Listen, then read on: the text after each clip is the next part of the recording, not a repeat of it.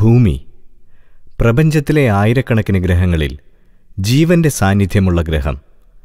കടലുകളും മലകളും പുഴകളും കാടുകളും മഞ്ഞും മഴയും മനുഷ്യരെ കൂടാതെ ലക്ഷക്കണക്കിന് ജീവജാലങ്ങൾ അധിവസിക്കുന്ന ഭൂമി. എന്നാൽ ഇന്ന് ഭൂമിയുടെ അവസ്ഥ വളരെ അപകടകരമായ രീതിയിലാണ് നിൽക്കുന്നത്. നമ്മൾ മനുഷ്യർ ഈ ഭൂമിയിലെ കാടുകളെയും പുഴകളെയും ഇല്ലാതാക്കിക്കൊണ്ടിരിക്കുന്നു. ഇതുമൂലം ഭൂമിയിലെ ജീവജാലങ്ങളിൽ ഒട്ടുമിക്കതിനും വംശനാശം സംഭവിച്ചിരിക്കുന്നു. ശാസ്ത്ര സാങ്കേതികവിദ്യ വളരുന്നതിനൊപ്പം തന്നെ മനുഷ്യർ പുരോഗമനത്തിന്റെ പേരിൽ ഭൂമിയുടെ ജീവശ്വാസമായ കാടുകളെ ഇല്ലായ്മ ചെയ്തുകൊണ്ടിരിക്കുന്നു. കടലുകളും പുഴകളും ജലാശയങ്ങളും മലിനമാക്കിക്കൊണ്ടിരിക്കുന്നു. ഫാക്ടറികളിൽ നിന്നും വാഹനങ്ങളിൽ നിന്നും പുറന്തള്ളപ്പെടുന്ന വിഷവാതകങ്ങൾ അന്തരീക്ഷത്തിൽ നിറഞ്ഞ് അത് ഭൂമിയുടെ നിലനിൽപ്പിനെ തന്നെ ഇല്ലാതാക്കിക്കൊണ്ടിരിക്കുന്നു. ആഗോളതാപനം ഗ്ലോബൽ വാർമിംഗ് ലോകം ഇന്ന് നേരിടുന്ന ഏറ്റവും അപകടകരമായ അവസ്ഥയാണിത്. ആഗോളതാപനം മൂലം അന്തരീക്ഷത്തിലെ ചൂട് ക്രമാതീതമായി കൂടുകയും അത് ഭൂമിയിലെ മഞ്ഞുമലകളെ ഇല്ലാതാക്കിക്കൊണ്ടിരിക്കുകയും ചെയ്യുന്നു. ഭൂമിയുടെ മൂന്നിൽ രണ്ട് ഭാഗവുമുള്ള സമുദ്രങ്ങൾ ആഗോളതാപനം മൂലം ചൂടാകുമ്പോൾ അതിലെ ജലനിരപ്പ് ഉയരുകയും അത് നമ്മുടെ കരപ്രദേശങ്ങളെ വിഴുങ്ങുകയും ചെയ്യുന്ന പ്രതിഭാസം കഴിഞ്ഞ കുറച്ചു വർഷങ്ങളായി നടക്കുകയാണ്. ആഗോള താപനത്തിന്റെ ദൂഷ്യഫലങ്ങൾ ലോകം മുഴുവൻ ഉണ്ടാകുന്നതിനൊപ്പം തന്നെ നമ്മുടെ കേരളത്തിലും സംഭവിക്കുന്നുണ്ട്. അറബിക്കടലിന്റെ റാണിയായ കൊച്ചിയുടെ പ്രധാന ഭാഗവും പ്രസിദ്ധ വിനോദസഞ്ചാര കേന്ദ്രവുമായ ഫോർട്ട് കൊച്ചി. മനോഹരമായ ബീച്ചുകളും ചീനവലകളും കൊണ്ട് പ്രസിദ്ധമായ ഫോർട്ട് കൊച്ചിയുടെ അവസ്ഥ ഇന്ന് വളരെ പരിതാപകരമാണ്. റബ് സീസൺ അങ്ങനെ വിട്ടുമാറിയിട്ടില്ലെന്ന് തന്നെ പറയാം. കടൽ എപ്പോഴും ഏറ്റവും കേരളത്തിന്റെ ഫലമായിട്ട് എപ്പോഴും ബീച്ച് വെക്കണ ബീച്ചെല്ലാം പോയിക്കൊണ്ടിരിക്കുകയാണ്. കടലിന്റെ ജലനിരപ്പ് ക്രമാതീതമായി ഉയർന്നതിനാൽ കഴിഞ്ഞ കുറച്ച് വർഷങ്ങളായി ഈ പ്രദേശത്തെ ബീച്ചുകൾ ഭൂരിഭാഗവും ഇല്ലാതായിരിക്കുന്നു. ഫുട്പാത്തും അങ്ങനെ കാര്യങ്ങളൊക്കെ ചെയ്തത് ഈ പ്രളയത്തിന് മുമ്പായിട്ടുള്ള റബ് സീസണിന്റെ ടൈമിന് അത് കംപ്ലീറ്റ് പൊളിഞ്ഞ് പോ പൊളിഞ്ഞ് നഷ്ടപ്പെട്ട് ഈ വാഗ്വേ ഒക്കെ വളരെ അപകട ഭയങ്കര ഭീകരമായ അവസ്ഥ തന്നെയാണ് ഇപ്പോൾ ബീച്ചിനെ കുറിച്ച് പറയുകയാണെങ്കിൽ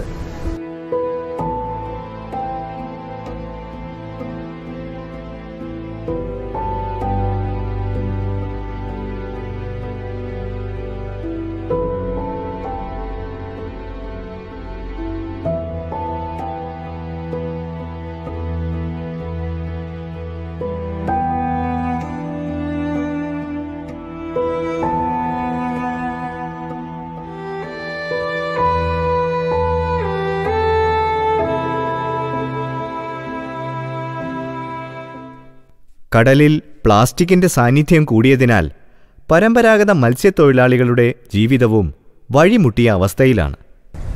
കടലിൽ ഈ പ്ലാസ്റ്റിക് വന്നത് ഈ കിഴക്കുന്ന് വന്നാണ് കൂടുതലും. കിഴക്കുന്ന്. അവർ ഈ കിറ്റുകളൊക്കെ ആയിട്ട് ഇങ്ങനെ കെട്ടി ഇങ്ങനെ കൂട്ടമായിട്ടാണ് വിടുന്നത്. അപ്പോൾ ഞങ്ങൾ ഇന്ന് വല ഇട്ട് കഴിഞ്ഞാൽ ഈ പ്ലാസ്റ്റിക്കൊക്കെ ഞങ്ങൾ വലമേ കൊടുക്കും. പിന്നെ മീനിന് ഒരു പ്ലാസ്റ്റിക് തന്നെയാണ് ഇപ്പം പറഞ്ഞത്. അപ്പോൾ നമ്മ ഇങ്ങനെ ഓടി വന്നിട്ടുണ്ടെങ്കിൽ രണ്ട് മൂന്ന് പ്രാവശ്യം ഇഞ്ചൻ നിർത്തേണ്ടി വരും. ഈ ഈ പങ്കമ്മ ഈ പ്ലാസ്റ്റിക് കയറി ചുറ്റും. അപ്പോൾ മീൻ ഇവിടെ നിന്ന് തീരം വിടും. ഇങ്ങനെയുള്ള ഇത് കണ്ടു നേരത്തെ അങ്ങനെ അല്ലായിരുന്നു.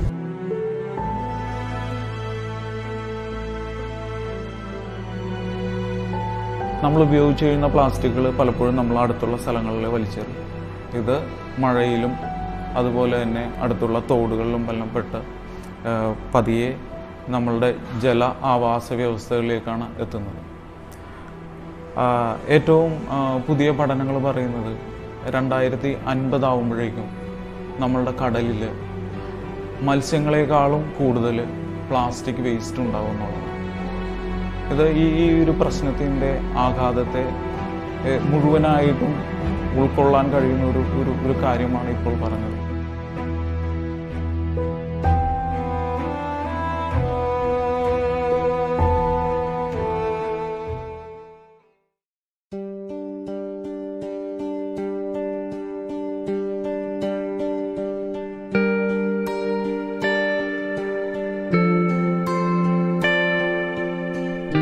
ചെല്ലാനം എടവനക്കാട് കുഴുപ്പള്ളി ചെറായി മുനമ്പം തുടങ്ങിയ കേരളത്തിലെ ഒട്ടുമിക്ക തീരപ്രദേശങ്ങളും കടമക്കുടി പിഴല തുടങ്ങിയ ദ്വീപ് പ്രദേശങ്ങളും ആഗോളതാപനം മൂലമുണ്ടായിട്ടുള്ള കെടുതികൾ അനുഭവിക്കുകയാണ്. പണ്ട് പണ്ട് പള്ളി ഇരുന്ന സ്ഥലമൊക്കെ കടലെടുത്ത് പോയിരുന്നതാണ്. ഒന്നര കിലോമീറ്ററോളം കടലെടുത്തിട്ടുണ്ട് പണ്ട് പള്ളി ഇരുന്നിരുന്ന പടിഞ്ഞാറാണ്. ആ പള്ളിനെ മാറ്റി ഇപ്പോൾ കിഴക്കോട്ടും പണിതാണ്. വടക്കോശം കടലിൽ ഒരുപാട് കര എടുത്തുകൊണ്ട് പോയിട്ടുണ്ട്.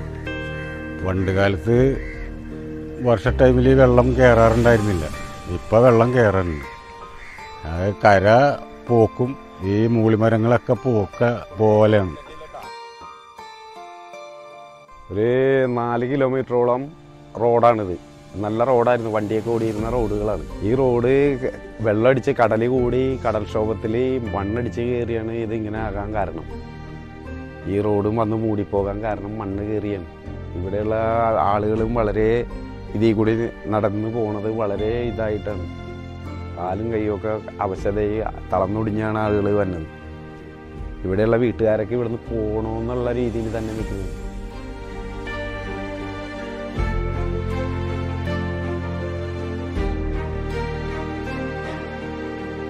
India is concerned, what we are now witnessing is that we have increased uh, number of this uh, cyclones as well as depressions over the past uh, several years.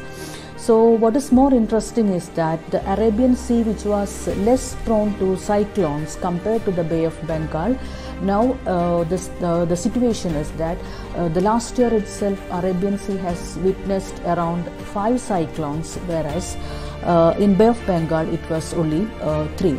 Earlier it was not like that. Uh, Bay of Bengal experienced more frequent cyclones than the Arabian Sea.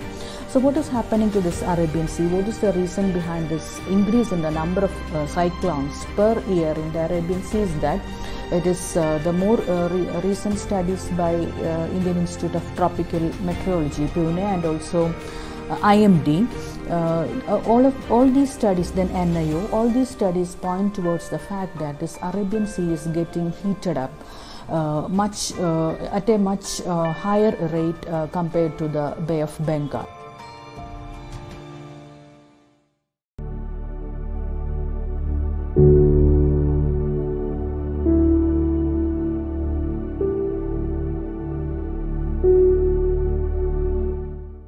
മുൻകാലങ്ങളിൽ കൃഷി മര്യാദയ്ക്ക് നടത്തിക്കൊണ്ടുവരുന്നതാണ്. അത് ഇപ്പോൾ ഈ ഉപ്പുവെള്ളം കയറുന്നതിന്റെ വലിയ കൃഷി നടത്താൻ പറ്റാത്തൊരു സാഹചര്യത്തിൽ വന്നിരിക്കുന്നത്. മുൻകാലങ്ങളിലെ പോലെ കൃഷി പാടങ്ങളിൽ വെള്ളം പറ്റിച്ചിട്ട് കൃഷി നടത്തിയിട്ട് ലാസ്റ്റ് ഒരു പൈസ പോലും കിട്ടാത്തൊരു സംവിധാനം കിളക്കാനും വിതക്കാനും എല്ലാ കാശും മുടക്കി കഴിഞ്ഞ് ലാസ്റ്റ് ആകുമ്പോൾ വിത്ത് വിത്ത് നൂറ് ആയിരക്കണക്കിന് രൂപ മുടക്കി വിത്ത് ഞങ്ങൾ വാങ്ങിച്ചിട്ട് കൊണ്ടുവന്ന് വിതച്ചിട്ട് ലാസ്റ്റ് ഞാറ് പൊങ്ങി വരുമ്പോഴൊക്കെ ഉപ്പുവെള്ളം കയറി നശിഞ്ഞ് ഞങ്ങളുടെ എല്ലാ പൈസയും നശിഞ്ഞ് ഇങ്ങനെ ഓരോ ഒരു സംവിധാനവും ഉണ്ടാക്കില്ല അത് ഇത് പൈസയുടെ സംവിധാനം തന്നെ നമ്മളെ ബുദ്ധിമുട്ടുകളും കാശുകളും ഒക്കെ നഷ്ടപ്പെട്ടുകൊണ്ടിരിക്കുന്നു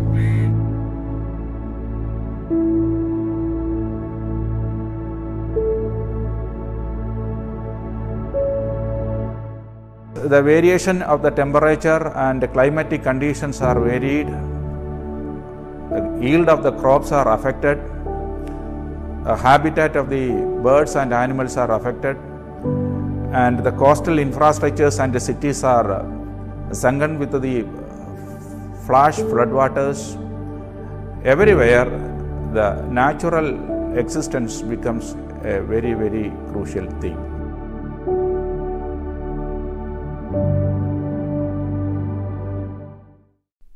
ഭൂമിയുടെ നിലനിൽപ്പിനെ തന്നെ ഇല്ലാതാക്കിക്കൊണ്ടിരിക്കുന്ന ആഗോളതാപനമെന്ന ഈ മഹാവിപത്തിനെ എങ്ങനെ നമുക്ക് തടയാം?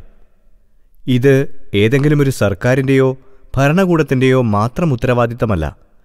നമ്മുടെ നിത്യജീവിതത്തിൽ ചില ചെറിയ ചെറിയ മാറ്റങ്ങൾ വരുത്തിയാൽ ഭൂമിയിൽ വലിയ വലിയ മാറ്റങ്ങളുണ്ടാക്കാൻ നമുക്ക് ഓരോരുത്തർക്കും കഴിയും. അത് വരും തലമുറയോടുള്ള നമ്മുടെ ഉത്തരവാദിത്തം കൂടിയാണ്. പ്ലാസ്റ്റിക് കത്തിക്കുന്നത് ഒഴിവാക്കുക. സി എൻ ജി പോലുള്ള പ്രകൃതി സൗഹൃദമായ ഇന്ധനങ്ങൾ ഉപയോഗിക്കുന്ന വാഹനങ്ങൾ കഴിവതും ഉപയോഗിക്കുക. ഇലക്ട്രോണിക് ഉപകരണങ്ങൾ ഉപയോഗത്തിന് ശേഷം ഓഫ് ചെയ്യുക. കഴിയുന്നതും പൊതുഗതാഗത സൗകര്യങ്ങൾ ഉപയോഗിക്കുക. ഇതിന് എല്ലാത്തിനുമുപരിയായി കഴിയുന്നത്ര മരങ്ങൾ നട്ടുപിടിപ്പിക്കുക. അതിനോടൊപ്പം തന്നെ ഉള്ള മരങ്ങളെ സംരക്ഷിക്കുക.